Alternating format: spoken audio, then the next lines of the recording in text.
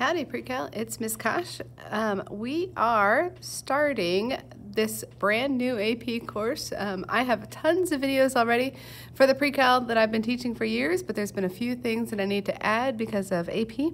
Um, so we're going to jump right in and um, and see what we can do. So, the to begin with here, it, a function is a mathematical relation that maps a set of input values to a set of output values such that each input is mapped exact to exactly one output value.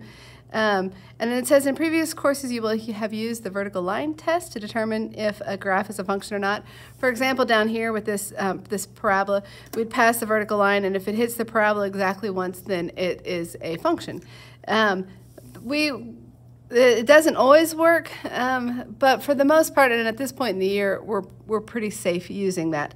Um, the set of output values of a function is called the, uh, oh, excuse me, I read that wrong. The set of input values is called the domain, uh, represented by the x variable, or we might talk about the independent. That's the independent variable. Um, the set of output is the range represented by the y or the dependent. Um, I expect that to be a review. I would expect that you have seen that in Algebra 2. Um, so on this one, it's then they're asking us to do a few different examples. So they're wanting the domain of, of um, negative 4 to 4, and they're saying it halves each input value and then adds 1. So when I was thinking through this, um, I did this already. So I have my x value and then the function f of x. So it's going to take, so say we have negative 4, it's going to half that. Half of negative 4 is negative 2, and add 1. Negative 2 plus 1 gives me negative 1. And then I'm going to pick 2, negative 2 next because I'm too lazy to deal with fractions, I mean efficient.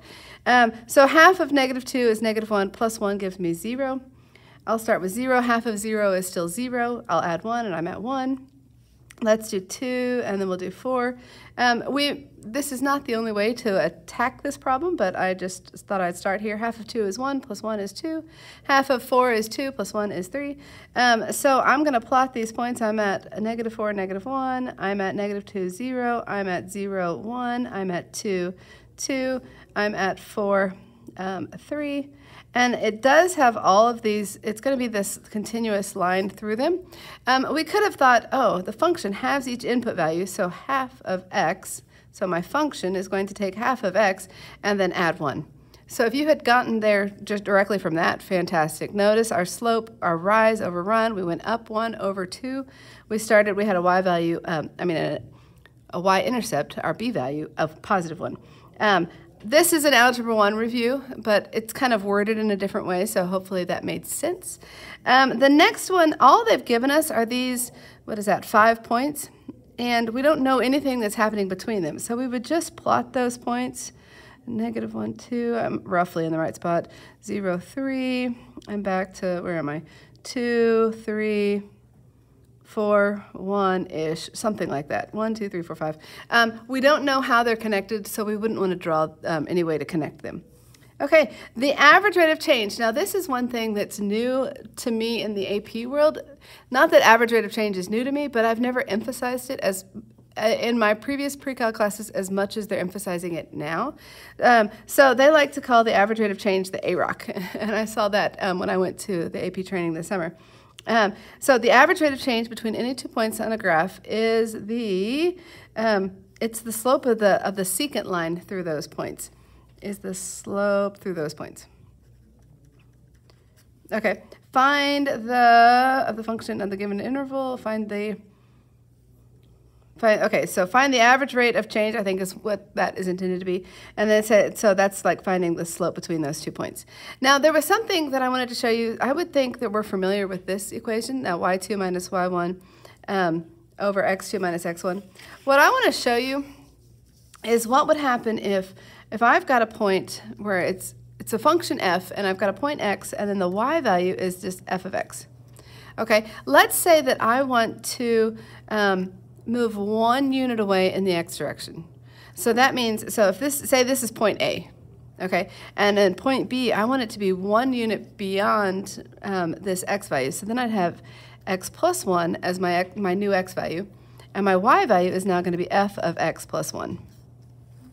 So if I want to find the average rate of change um, between, sometimes I abbreviate between like that, between A and B, what I would do is I will take these y values, subtract them. So f of x plus 1 minus f of x divided by the x values. Okay, so since I started with this y value, I need to start with this x value.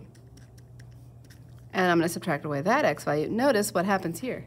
I have an x plus 1 minus x just leaves me with 1. We don't need to write a 1 in our denominator. We can, but we're efficient, so we choose not to.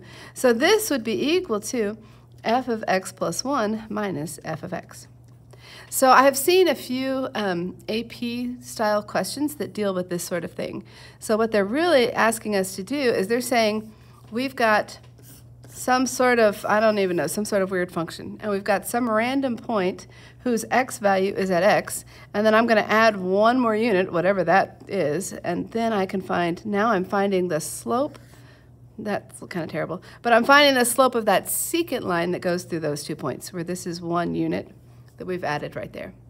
Um, we'll spend more time with this as we keep going. Let me see. Um, let's. I'll finish this page and then and then stop the video.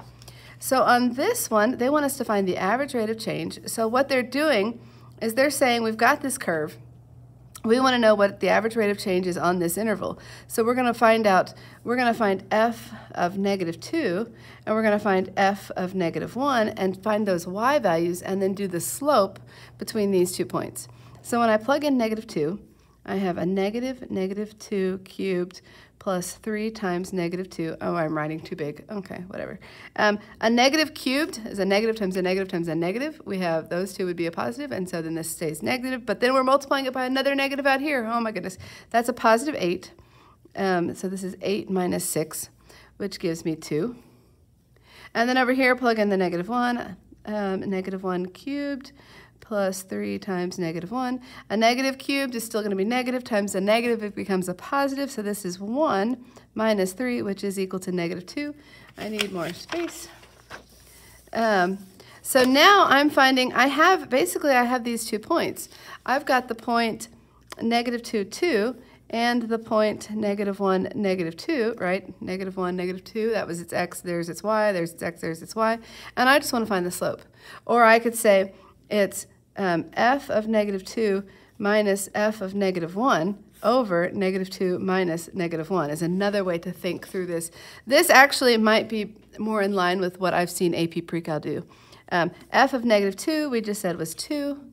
Uh, f of negative 1 we just said was negative 2, so minus a negative 2 all over, this is equal. Oh, I'm sorry, you couldn't see my work. Um, all over negative 2 minus a negative 1 I see a positive 4 over, that's a negative 1, so this would be equal to negative 4, unless I'm crazy. It's the end of the first day, and y'all, I'm exhausted. Um, and, and that's how we would do that first problem. So the next one, it's a similar idea. We're going to find h of 1. We're going to find h of 4. Um, I'm going to stop the video here and let you practice that on your own. And let's see. Yeah, we'll stop there for now. Go practice. Good luck to you.